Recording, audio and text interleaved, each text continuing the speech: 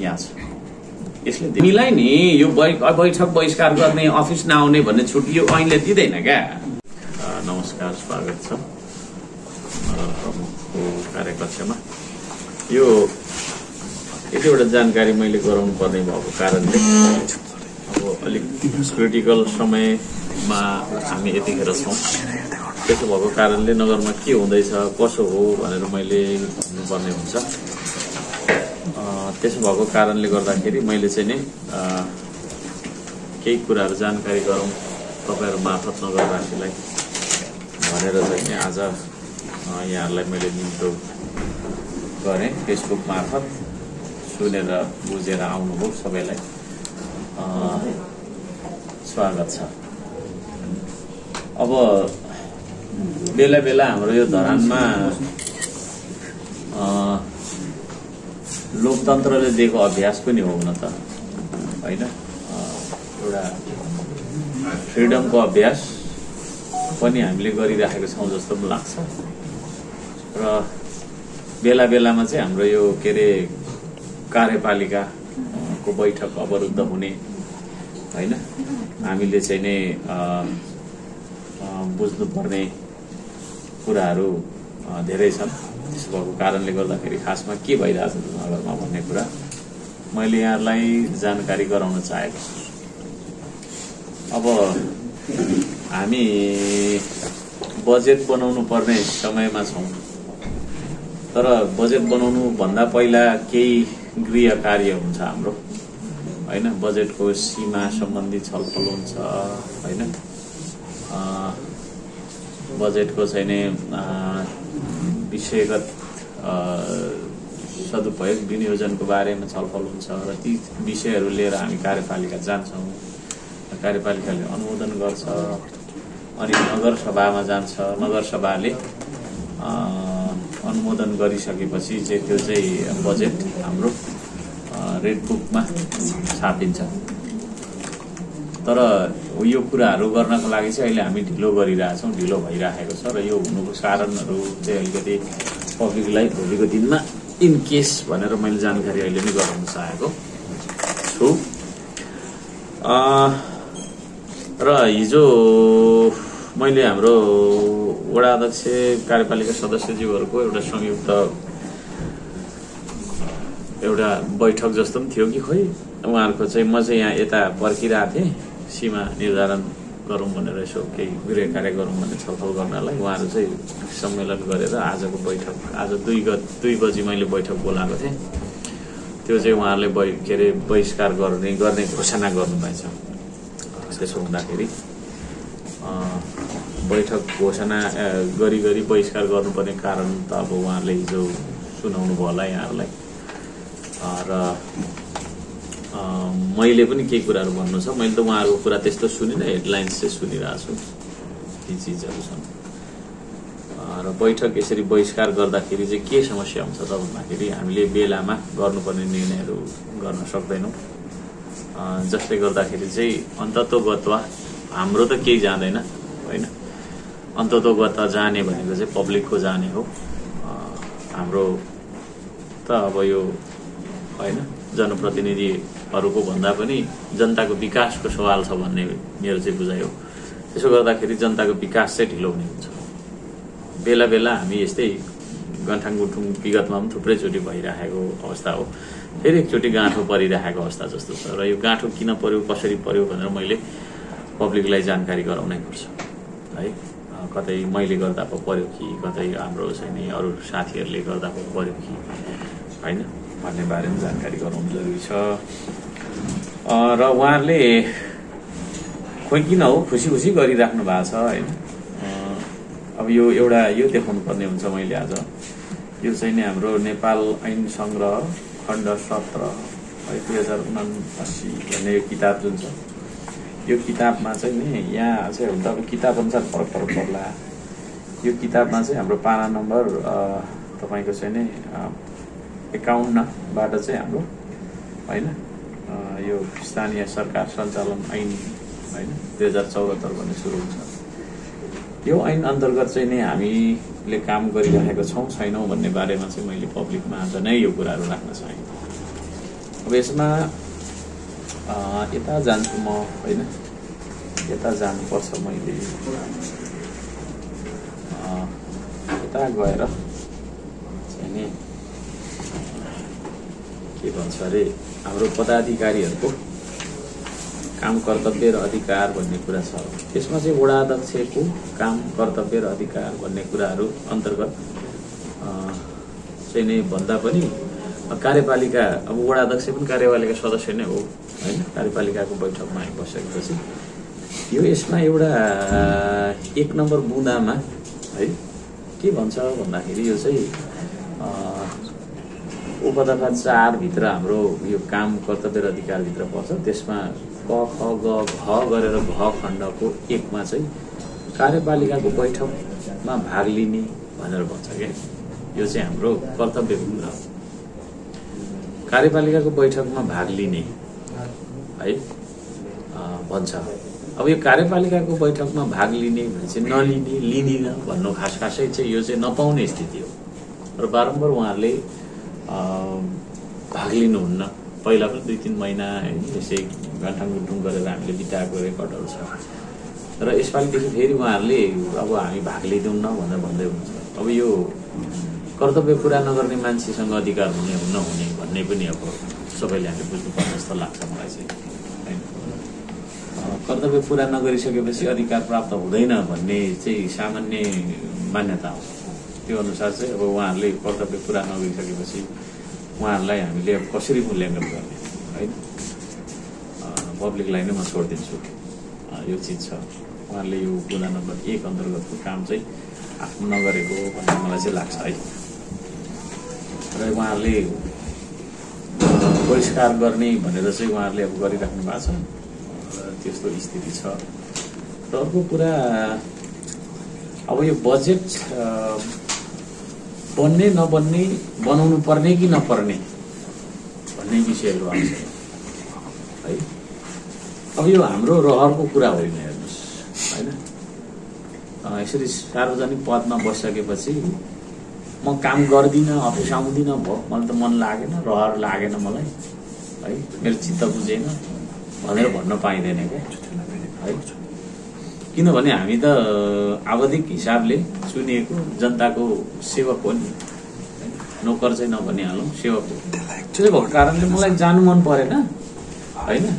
काम धेरै भयो समस्या धेरै रहेछ म त जाँदिनँ भन्न पाइँदैन।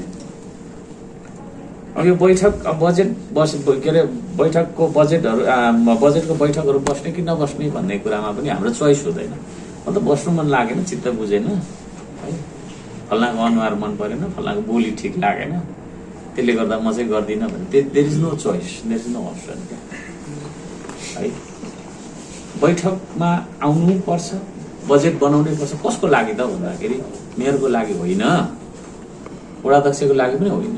वडा सदस्यको लागि पनि होइन। पब्लिकको लागि जुन पब्लिकले हामीले हिजो सुन्यौँ लोकतन्त्रको लागि सिस्टमको लागि विधिको लागि विकासको लागि हो। त्यसले गर्दाखेरि अब यो बजेटको लागि ए बजेटको लागि बैठक बस्ने कि नबस्ने कार्यपालिका बस्ने कि नबस्ने भन्ने कुरा सवालै यहाँ रहँदैन। यो मेन्डेटरी हो। मेन्डेटरी भन्ने बित्तिकै चाहिँ त्यसलाई स्किप गर्न सकिँदैन क्या। है? अप्सन छैन।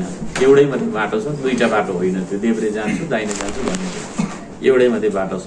त्यसले गर्दाखेरि जे उहाँहरूले गरिराख्नु भएको छ यो चाहिँ लोकतान्त्रिक होइन मूल्य मान्यता। विपरीत जनताको आकाङ्क्षा विपरीत जनताको चाहना र आवश्यकता विपरीतको गतिविधि धरान उपमहानगरपालिकामा धेरै पहिलादेखि म सेलेक्ट भएर आएदेखि लेख भएर आएदेखि नै चलिराखेको कुरा सर्वविदितै छ फेरि एकचोटि मैले स्मरण चाहन्छु। अब मैले त्यही त हिजो पनि निकै फोन गरेँ उहाँहरूलाई। फोन पनि उठेन। अब उहाँहरू आउँदिन भनेर भनिसक्नु भएको अवस्था थिएछ त्यसले गर्दाखेरि बैठक बस्न सकिएन हिजो अस्ति होइन हामी बैठक बसेको छैन। र बैठक नबसिसकेपछि के हुन्छ भन्ने मैले अघि भनिसकेँ। है यी कुराहरू छन् र यसलाई चाहिँ अब धरानी जनताले मूल्याङ्कन गरिराख्नु भएकै छ। अझै गर्नुपर्ने बेला फेरि आयो। अब एकछिन तपाईँहरूको प्रश्नको उत्तरहरू मैले दिनुपर्ने हुन्छ। अब यहाँनिर अलिकति मैले थोरै मेरो दुई तिन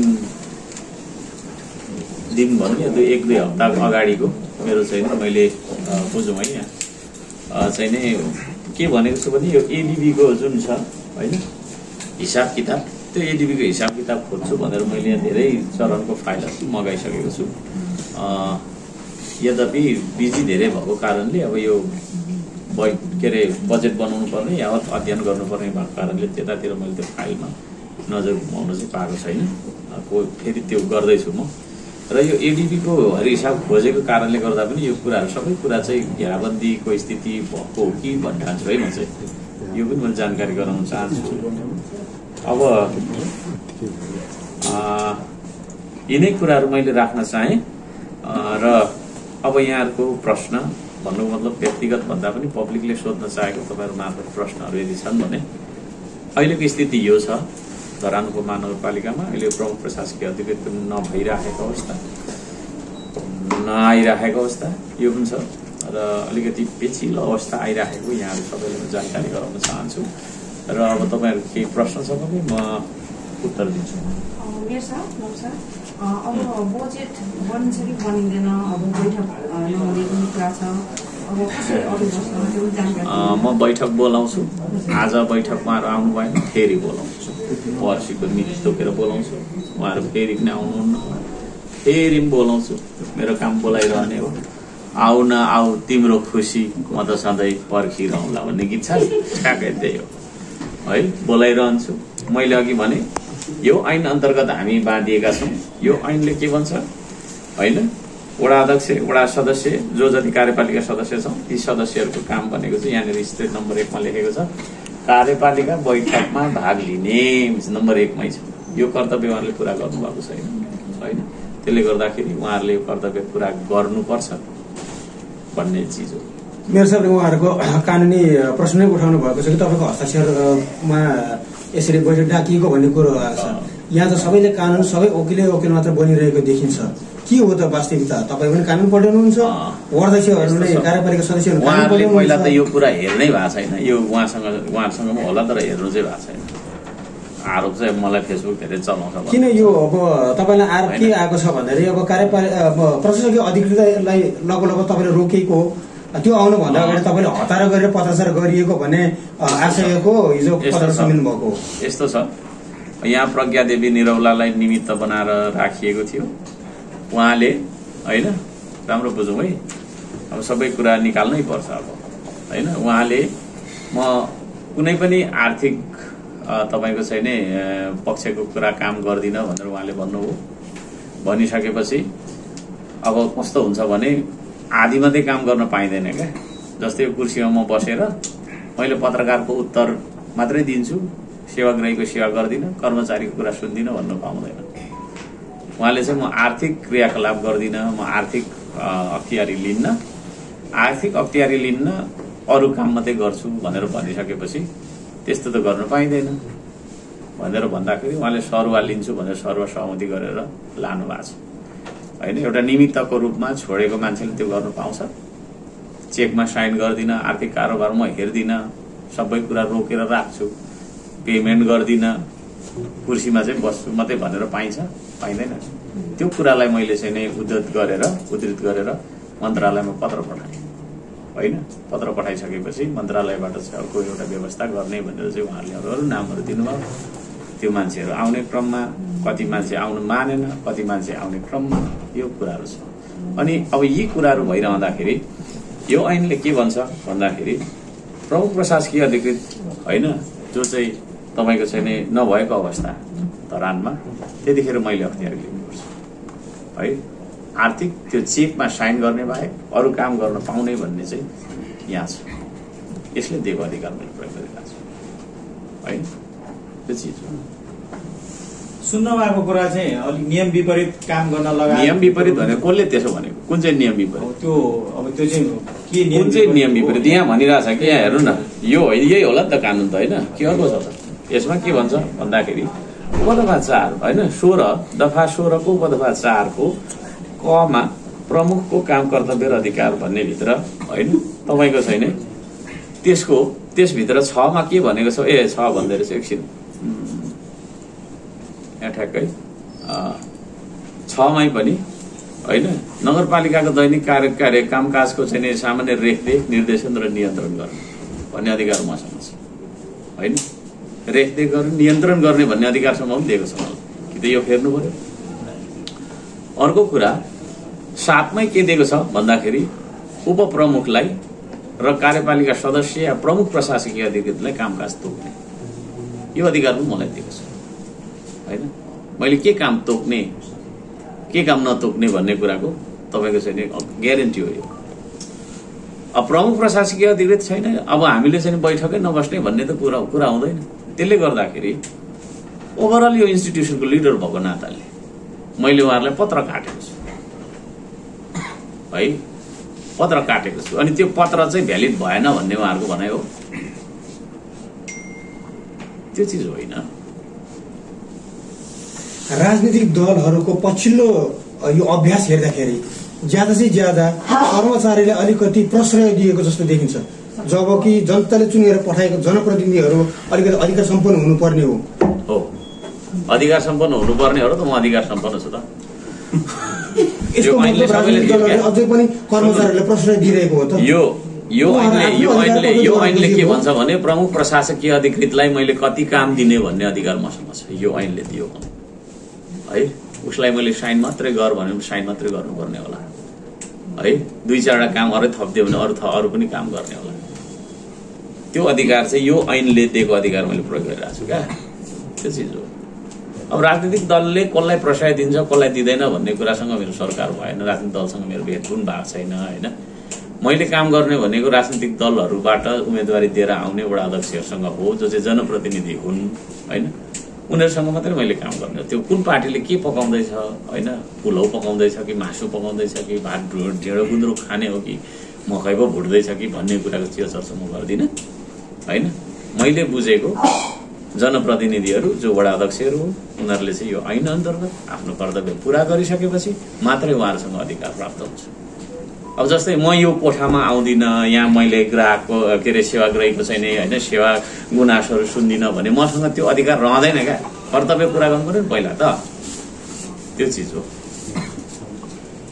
यो सरस्वती हेर्दाखेरि त्यति साह्रो जटिलता देखिँदैन। अब यो खै म त केही देख्दिनँ सबै यही उसले कानुन महाशाखा पनि छ धरान उपमहानगरपालिकाभित्र कानुन महाशाखाले के भन्छ? कसरी परामर्श गर्नुभयो तपाईँले? यदि महाशाखाले- बोलाएर त यो यसो गरेर त बाधा अर्को फुर्को त्यस्तो अनपढ मान्छे हो र म। हो त्यो बुझ्दिनँ यो। म त अनपढ मान्छे त होइन। तर उहाँहरूले त बुझाउनु पर्छ सबैलाई म पढ दाउ परेमा सबैले पढाउँछु। त्यस्तो मान्छे हो अर्को साम्बा यो यो पढ्नुलाई मैले बोलाइराख्नुपर्छ र यहाँ यहाँ वकिलले के हो यसको व्याख्या विश्लेषण? भन्नुपर्छ र। छैन दियो मलाई अब कार्यपालिका उहाँहरूको पनि अधिकार यसले दिएको छ भने गरोस् न त च्यालेन्ज दिन्छु क्या म यस्तो कागजमा उहाँहरूको यो बहिष्कार गर्न पाउने भनेर लेखेको छ भने कुन बुँदा प्रयोग गरेर तपाईँले बहिष्कार गर्नु भनेर सोध्नु न तपाईँले भन्नुहोस् चुनौती दिन्छु है हामीलाई नि यो बैठक बहिष्कार गर्ने अफिस नआउने भन्ने छुट्टी यो ऐनले दिँदैन क्या त्यो त हामीले खुसी खुसी गरेको हो नि त त्यो त होइन जुन चाहिँ गलत छ पब्लिकले मूल्याङ्कन गर्नुपर्छ। अब यहाँ भनिरहेको छ त कार्यपालिकाको नगरपालिकाको दैनिक कार्यको रेखदेख निर्देशन र नियन्त्रण गर्ने अधिकार प्रमुखसँग छ। अब गर्ने भए कि त यो मेटाउनु पर्यो होइन? त उहाँहरूको चाहिँ कहाँनिर चाहिँ तपाईँको चाहिँ कार्यपालिका बैठक चाहिँ होइन प्रमुखको कुरा न अनुहार मन नपर्दा उसको बोली मन नपर्दा उसले लगाएको लुगा मन नपराउँदा विभिन्न कारणहरू होला होइन?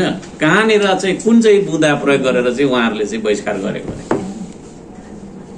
एकचोटि तपाईँले सोध्नुहोस् नत्र मैले यहीँबाट सोधेँ। छ भने हेरौँ यो बुँदा मैले देख्दिनँ त्यसो मैले सबै पढिसकेँ। नहुने नहुने कुरा गर्ने। किताब चाहिँ नपढ्ने होइन? अनि अर्काको सल्लाह सुन्ने। अब यो पढ्नलाई मलाई कानुनी सल्लाह चाहियो। यहीँ छ त यी फोटो खिचेर लाँदा। रातो पनि गरिदिएको छु। त्यति त हामी सबैले पढे लेखेकै होला त? होइन? कुनै त्यो चाहिँ कम्पाउन्ड सेन्टेन्स भएको इङ्ग्लिसमा त छैन यो त्यो चिज हो। क्या सामान्य छ। कति कुन के गरेको अरू केही छ कि?